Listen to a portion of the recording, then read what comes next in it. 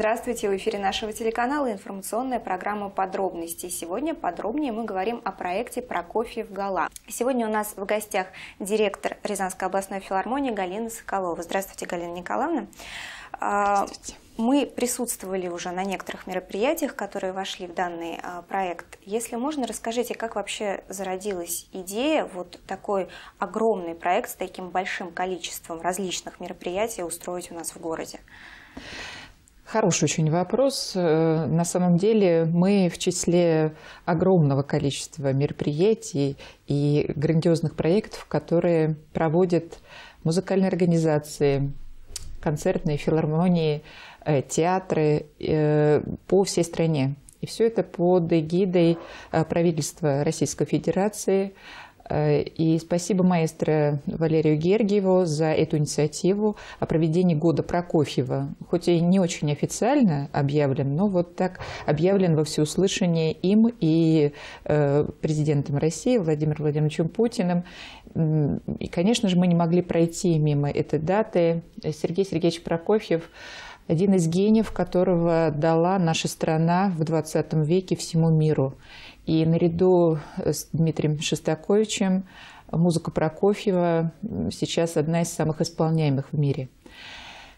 Для нас этот проект сколь интересен, столь и ответственен, потому что рассказать э, о творчестве, о самом э, вообще человеке, о такой глыбе, как Сергей Прокофьев, э, с одной стороны сложно, а с другой стороны просто, потому что о нем очень много написано. Сам Сергей Сергеевич написал дневники, они изданы в трех томах. Это можно все, все это в доступе.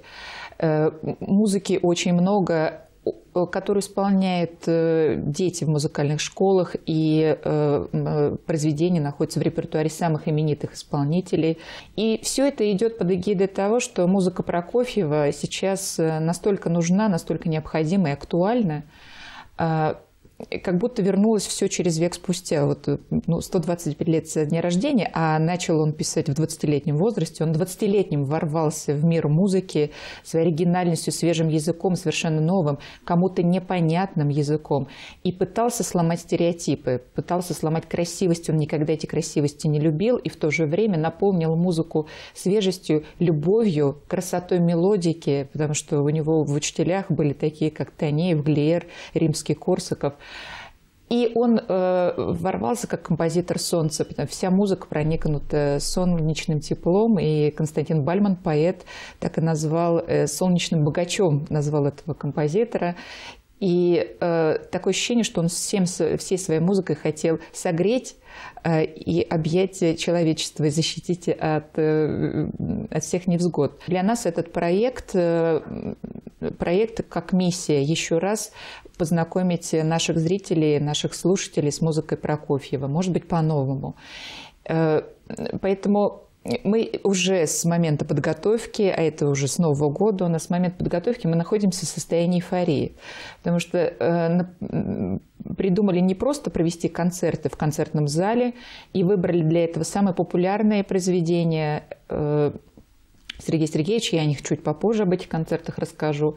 Ну и решили наполнить концертную жизнь в этот день, прямо в день рождения, это завтра предстоит этот весь праздник жизни, музыки, солнца, искусства, э, наполнить еще и офлайн программой Мы не раз уже проводили онлайн э, арт-проекты, когда студенты, студенты училища рисуют музыку, живую музыку.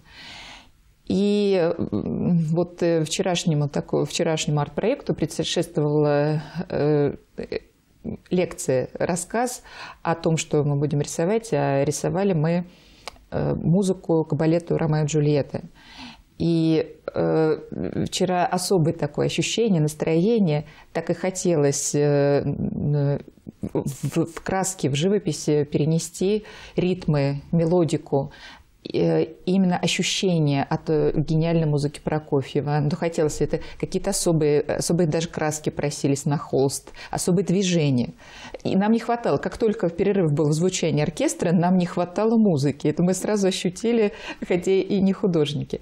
И такой вот сейчас у нас этот холст на, наш совместный, это студенты училища, и мы, сотрудники филармонии, приняли участие. Это наш холст будет э, нам напоминанием о том, что мы можем не только Э, ну, не только организовывать концерт, а сами э, творить. да. Галина Николаевна, насколько я знаю, то действие, которое мы наблюдали вчера, да, то, как вы рисовали, это все должно было происходить на улице, да, перед главным входом да. в филармонию. Погода немножко Погода нам так помешала. Свои коррективы. Да, да. Вот с вашей точки зрения, несмотря на это, все удалось, удалось так, как вы хотели. Какое послевкусие осталось вот после того, что было вчера? Э, нам удалось, конечно, мы-то мы сами участники проекта, нам просто хотелось э, большее количество людей, которые которые чувствуют в себе не столько призвание, сколько потребность выразить, не только быть слушателем, а и потребность выразить свои ощущения в красках или в другом каком-то виде творчества, хотелось, чтобы просто были участниками. Но действительно погода так внесла свои коррективы, и у нас э, получилось, что участниками проекта стали только э, студенты училища. 23 апреля, в да. день рождения великого композитора, а, именно в этот день какие мероприятия пройдут в филармонии, если кто-то из рязанцев еще не знает, может быть, сейчас услышит и захочет принять участие в них? Э, если говорить о завтрашнем проекте, то, конечно, э, лучше сказать о центровой части. Центральный главным героем будет музыка Прокофьева. Вот я три концерта уже назвала. Мы так их назвали. Классический, романтический, э, скрипичный и романтический, потому что все-таки Ромео и Джульетта – это сюжет о любви.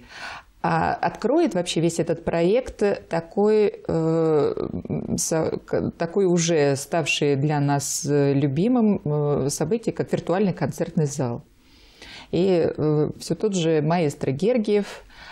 В 11.30 начнется концерт и прямая трансляция этого концерта из, московского, из Московской филармонии, концертного зала Чайковского, где театр, оркестр э, Мариинского театра под управлением маэстро даст большой концерт из большого количества произведений с солистами, и все это посвящение Прокофьеву.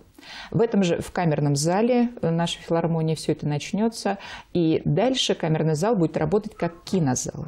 Потому что работа Сергея Сергеевича Прокофьева над музыкой к таким известным, который, может быть, кто-то не знает, поручики же, но все смотрели хоть один раз и, может быть, какой-то фрагмент, но обязательно видели фильм Александра Невский знаменитого Эйзенштейна. И э, работа над э, музыкой к этому фильму стала уже такой, знаете, энциклопедической, потому что как э, покадрово, э, покадрово писал про прописывал Прокофьев, например, э, сцену боя, ледового побоища, это вот стало хрестоматийным, вошло во многие учебники, не только в музыкальной литературе.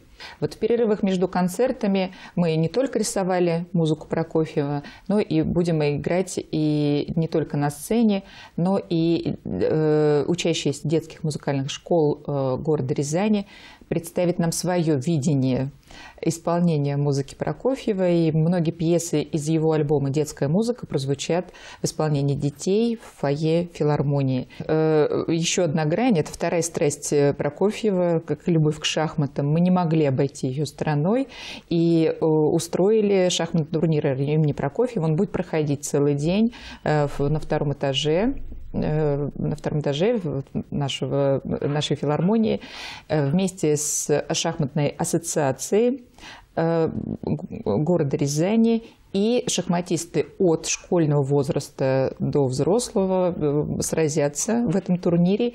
И мы, естественно, объявим победителей. Галина Николаевна, большое спасибо, что вы сегодня пришли к нам в студию, так подробно все рассказали. Спасибо за то, что вы делаете, за то, что вы просвещаете Да, да для нас это просвети... очень важный просветительский проект.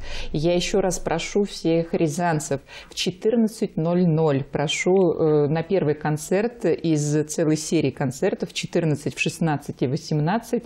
Очень удобный для запоминания э, цифры времени. Я прошу всех э, в зал филармонии для того, чтобы достойно всем россиянам отметить такой славный юбилей нашего гениального соотечественников. Действительно, здесь, наверное, можно сказать, что лучше один раз да, увидеть услышать, и услышать да, вживую, да.